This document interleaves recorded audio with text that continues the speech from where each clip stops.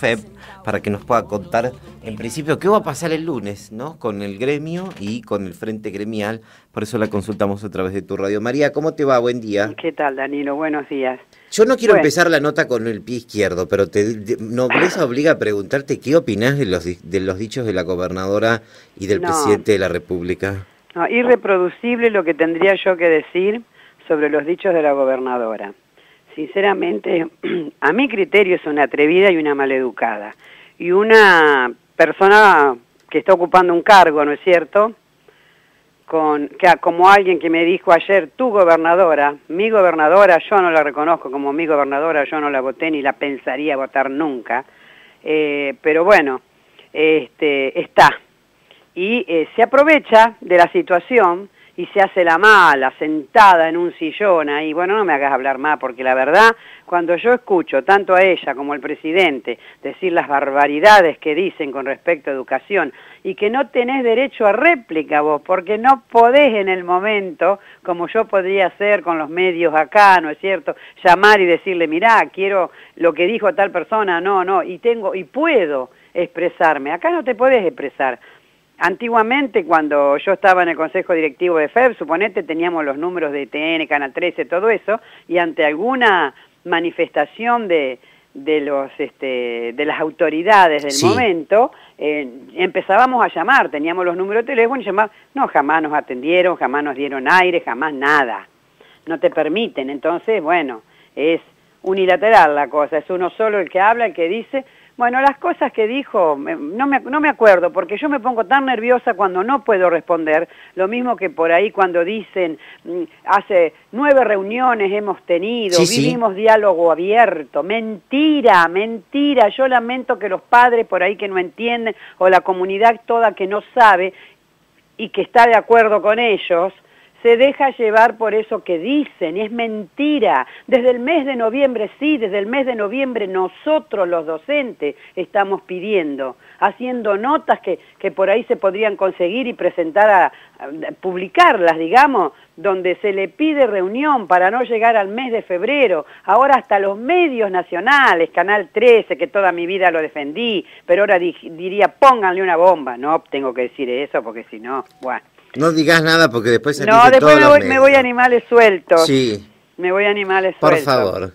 Bueno, este, no, mentira, todo mentira. Eh, los padres tienen que entender algo así, dijo Macri ayer, que sus hijos no están preparados para enfrentar el mundo. Sí el mundo de hoy, el mundo, qué sé yo. Sí, y aseguró que no deben estar ocultos los datos relacionados con la educación, eh, que fue lo que eh, eh, fue una de las frases que más se repitió durante el día de ayer y terminó rematando diciendo que no se pueden acordar de la educación solo en el momento de discutir la es Que no nos acordamos de la educación solo, ellos se acuerdan de la educación en el momento de discutir la paritaria, ellos buscan una educación de calidad, pero todos los cierres que han producido de escuela, las escuelas de isla que cerraron, las escuelas rurales que cerraron, los, la fusión de cursos, los cierres de cursos, porque gracias a Dios en Varadero no tuvimos cierres de escuela, pero cierres de cursos sí, donde quedan 5, 6, 7, 8 maestros, no maestros, sino queda el maestro y el profesor de música y el de educación física y el de inglés,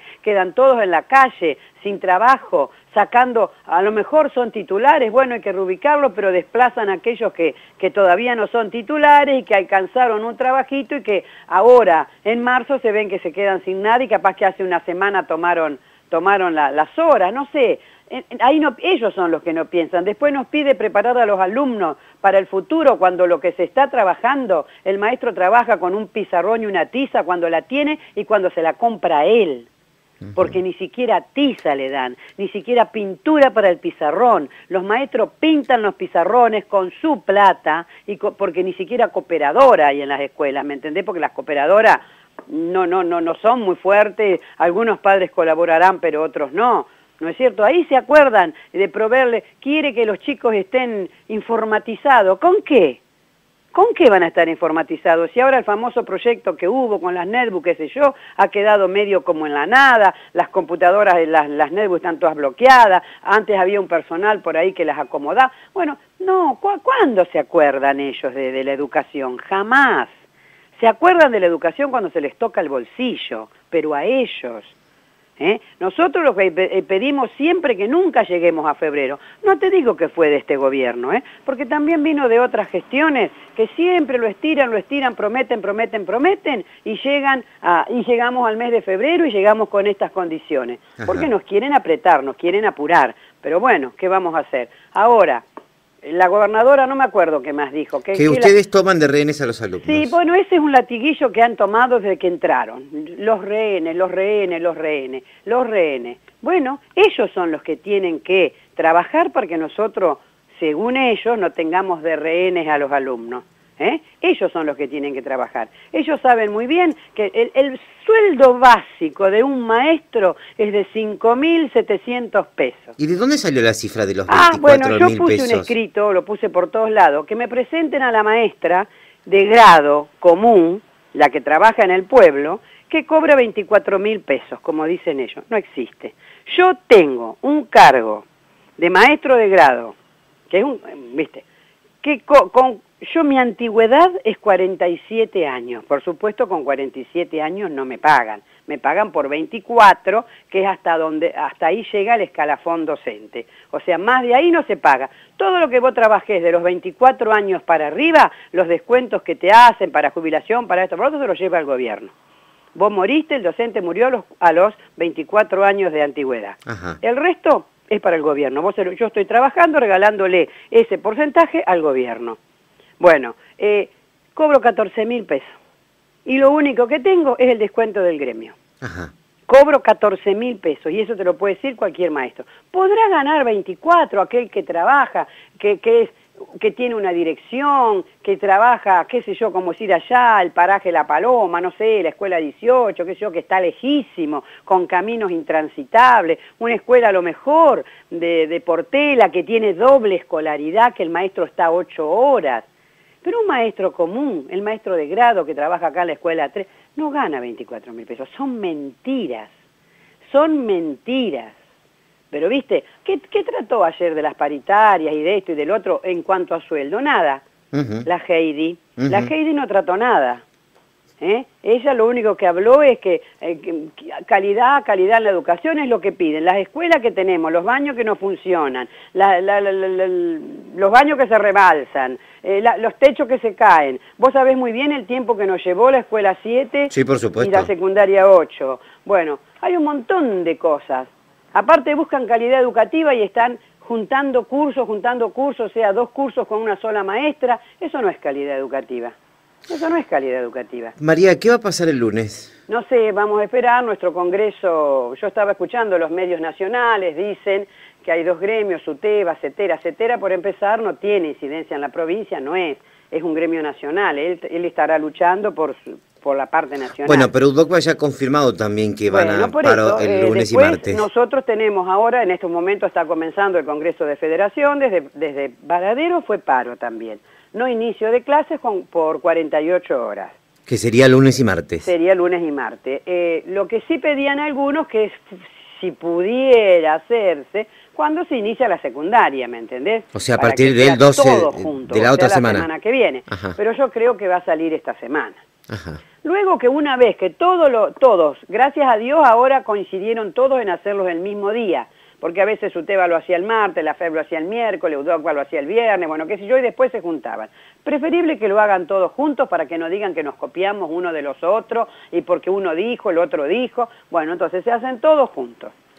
Yo personalmente creo, y por lo que estoy recibiendo de los docentes, que em, sí, que va a salir paro. Bueno, y seguro va a ser lunes y martes de esta semana. ¿Esto se define esta mañana de FEB? Eh, sí, desde FEB y después se juntan todos para hacer el frente de unidad docente, que vos sabés muy bien, no sé si lo comenté con vos, porque la verdad que hago tantas notas por ahí cuando me encuentran. Eh, UDA es un gremio que formaba el, frente gremial y salió.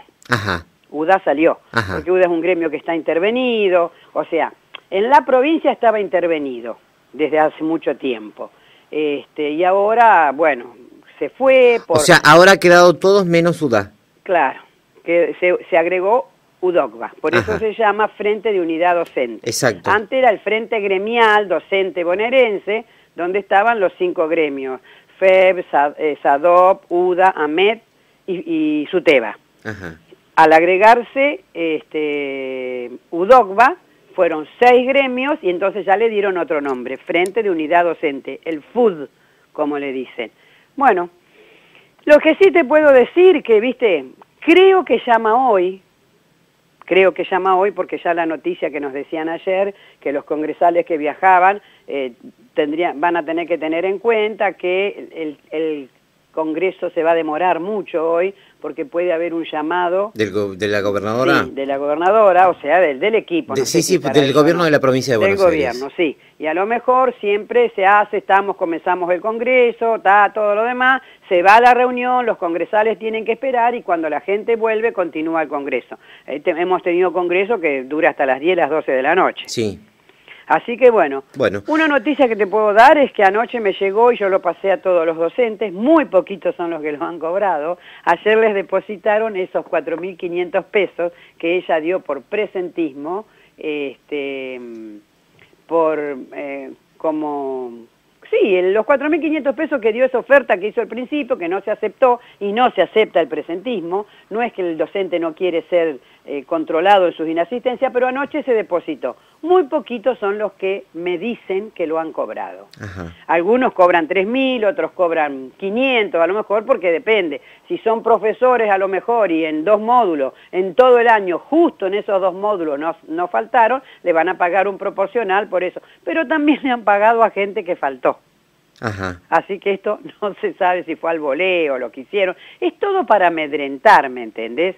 Porque antes de que fuéramos a, esta paritaria que se hizo ahora la última, eh, salieron las jubilaciones de oficio, salieron los cierres de curso, como para que vayamos debilitados a la reunión y ahí poder decir, bueno, mirá, bueno, arreglamos, pero ustedes no cierren curso, no cierren escuela, no. Bueno, esto es terrible, insalubre. Te agradezco que nos hayas atendido y bueno, vamos a estar atentos a lo que defina el Congreso de FED durante la mañana de hoy. Ahí te paso un mensajito. ¿eh? Gracias, un cariño. un beso, hasta luego. María Laura Casino representando a FEB, siempre con bueno su estilo tan particular, ¿no? Eh, y donde ya el anuncio que llegan los congresales ahí es de que nuestra ciudad decide por parte de la Federación de Educadores Bonaerenses paro, sumándose a lo que ya ha propuesto su y Dogma para el lunes. Pero también está esta otra posibilidad, digo, ¿qué va a pasar durante el transcurso del día de hoy si el gobierno de la provincia de Buenos Aires convoca o no a los docentes a una nueva reunión, ¿no? Eh, es un día clave para saber qué va a pasar el lunes con el comienzo del ciclo lectivo. Y la mejor música. Yo no me niego al amor, no me niego a nada que me